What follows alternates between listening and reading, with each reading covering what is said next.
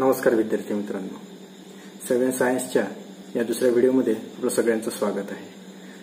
मागच्या व्हिडिओमध्ये आपण सायन्सच्या पहिल्या पाठाला सुरुवात केली होती ज्याचं नाव होतं the living world adaptation and classification त्या व्हिडिओमध्ये आपण ॲडॅप्शन इन प्लांट्स हा भाग आपण बघितला होता. जर कोणाचा तो व्हिडिओ मिस झाला असेल बघायचा राहिला असेल कोणी नवीन जॉईन झाले असेल तर त्यांनी या बाजूला एक आय बटन ब्लिंक करत असेल त्यावर टिक करा तुम्हाला तो व्हिडिओ पाहायला मिळेल. तर चला आज आपण दुसरा व्हिडिओ सुरू करू. आणि या व्हिडिओमध्ये आपल्याला बघायचं आहे अॅडॅप्शन इन अॅनिमल्स आणि क्लासिफिकेशन ऑफ लिव्हिंग थिंग तर चला सुरू करूया.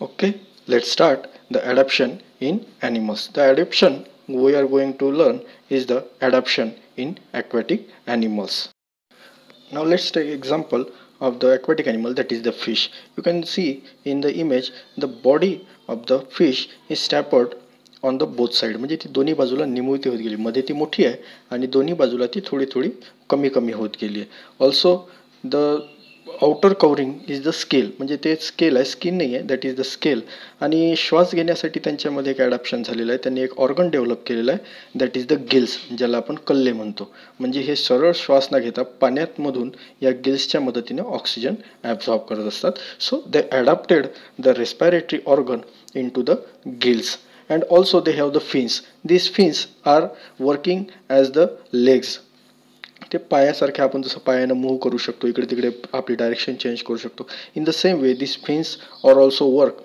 in this type of aquatic animals so with these adaptations they can live in the water now let's see other aquatic animals like octopus then uh, fishes turtle and seal so these are also the aquatic animals and they have adapted their body parts according to them म्हणजे त्यांना जसं पाहिजे त्या प्रकारचे त्यांनी स्वतःमध्ये adoption केलं आहे.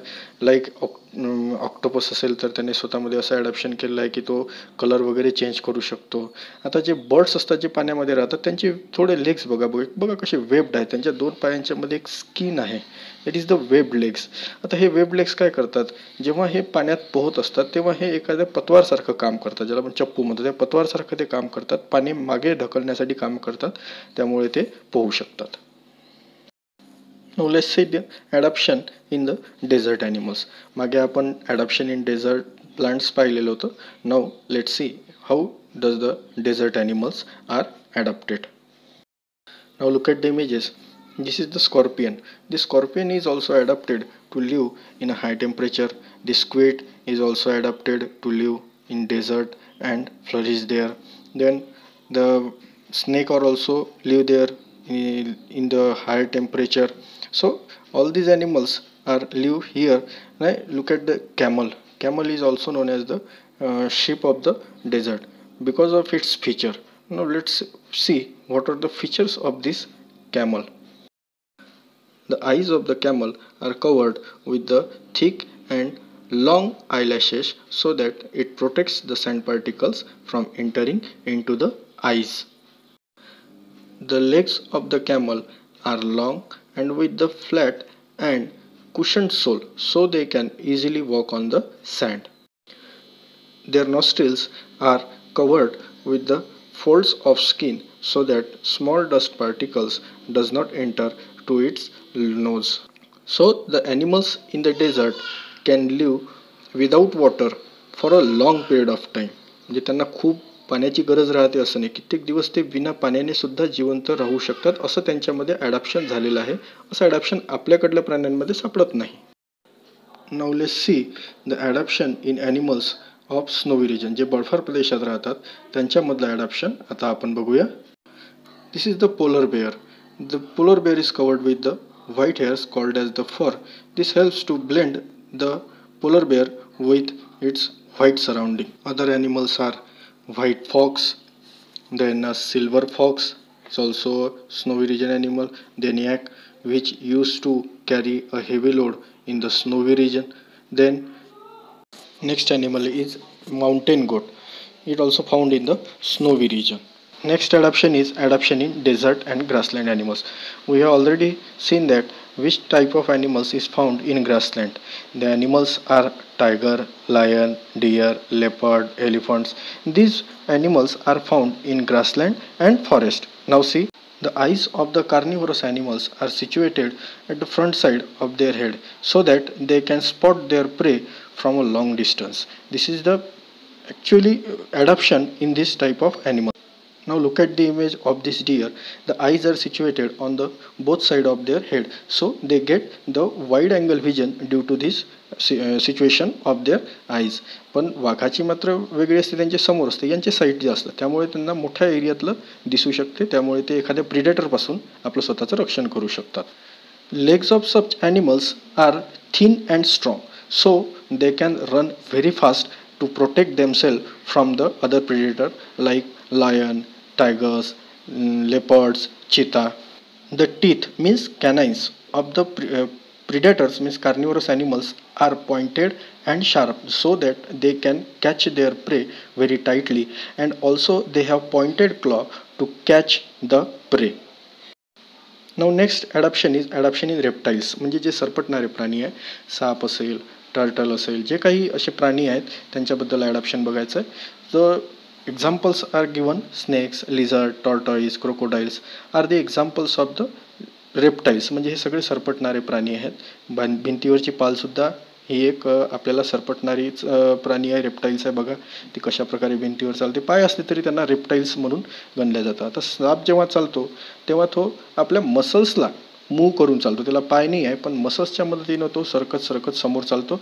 It can run very fast now adaptation in aerial animals आता एरियल ॲनिमल्स म्हणजे जे उडू शकतात like birds insect these are the aerial animals now see adaptation in them आता एखादा बर्ड जर आपण बघितला त्यांचीसुद्धा बॉडी बघा थोडी अशी टॅपर्स झालेली आहे. दोन्ही बाजूला निमुळती आहे. मध्ये मोठी आहे आणि दोन्ही बाजूला थोडी निमुळती आहे. This shape helps the birds or aerial animals to fly in the air आता इन्सेक्टच्या बाबतीतसुद्धा तसंच आहे.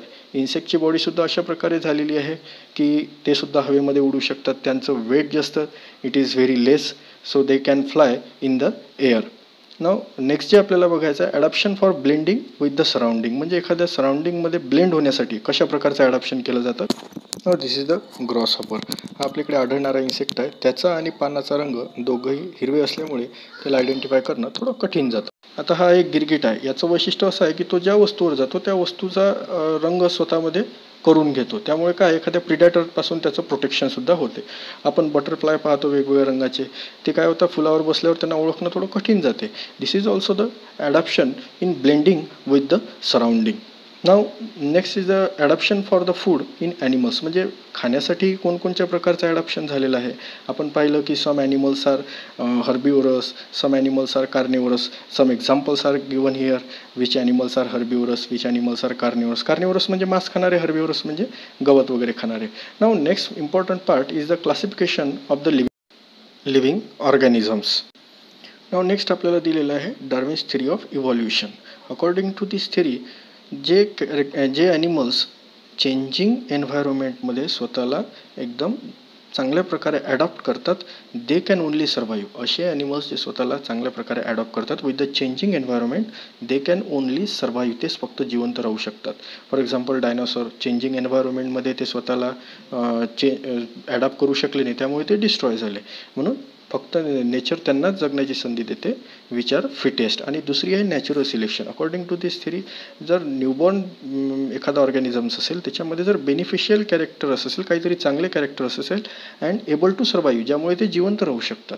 And this change is preserve in the next generation जर ते पुढच्या जनरेशनमध्ये त्यांच्या मुलांमध्ये जर ते कॅरेक्टर्स प्रिझर्व होत असेल तर that is the natural selection तर त्या थेरीला म्हटलं जाते natural selection this both theories are given by the great scientist that is the Darwin Now next is the classification of living things. So question arises, what is the necessity of classification? So there are number of uh, living things are present in our world. So to study them, to avoid the confusion, it is very essential to classify them classify केल्यामुळे काय होतं? वर्गीकरण केल्यामुळे या सगळ्या living थिंगचा अभ्यास करणं सोपं जातं. फॉर द क्लासिफिकेशन अ हिअ हिरार्ची इज फॉर्म आता हिरार्ची म्हणजे क्रम ऑर्डर सो त्यामध्ये सगळ्यात पहिले ठेवल्या गेले दोन किंगडम एकतर ॲनिमेलिया किंवा प्लॅन्टी. आता ॲनिमेलिया म्हणजे जे ॲनिमल्स असतील प्लॅन्टी म्हणजे जे प्लांट्स असतील तर हे दोन किंगडम त्यानंतर त्यांचे ग्रुप्स त्यानंतर सबग्रुप अशा प्रकारे जे सिमिलॅरिटीज असेल डिफरन्सेस असेल त्यानुसार त्यांचे एक क्रम लावला गेला आणि त्यानुसार एक क्लासिफिकेशन केलं गेलं. This is called the hierarchy of the classification definition ही लक्षात ठेवायची. Now next is the binomial nomenclature by Carl Linnaeus आता कार्लिनसने एक बायनोमियल नॉमेनक्लेचर नावाची एक पद्धत शोधून काढली. आता ही पद्धत काय आहे? बायनोमियल म्हणजे दोन. नॉमेनक्लेचर म्हणजे नाव देण्याची एक पद्धत आहे. नॉमेनक्लेचर नाव देणे. आता समजा कोणाचं नाव जर सेम असेल दोन दोन तीन विद्यार्थ्यांचं जर लास्ट नेम सेम असेल समजा देशमुख. तर आपल्याला कोणत्या देशमुखला नेमकं बोलवायचं आहे? यासाठी आपण काय करू? त्याचं फर्स्ट नेम वेगवेगळं असेल तिघांचे त्यामुळे आपण अशा प्रकारे वेगळ्या नावावरून त्याला ओळखू शकतो. सो या कार्लिनसने सुद्धा अशी एक पद्धत काढली कारण जगात वेगवेगळे प्राणी आहे आणि प्रांतानुसार त्यांना वेगवेगळे नावं आहेत. म्हणून काय केलं की त्यांनी अशी एक बायनोमियल नॉमेन क्लेचर नावाची एक पद्धत शोधून काढली. यामुळे काय होते की तो प्राणी जरी त्याला प्रांतिक नाव जरी सारखं असेल किंवा वेगवेगळं असेल तरीही त्याला एका खास नावाने पूर्ण जगात सायंटिस्ट ओळखतात. That is the binomial nomenclature आता या पद्धतीमध्ये दोन भाग असतात. या नावामध्ये दोन भाग असतात. फर्स्ट नेम जो असतो त्याचा जिनस म्हणजे कोणत्या जिन त्याचा जो जिनस असेल त्याला एक नाव दिलेलं आहे. जिनस तुम्हाला समोर ते अभ्यासायला मिळेलच.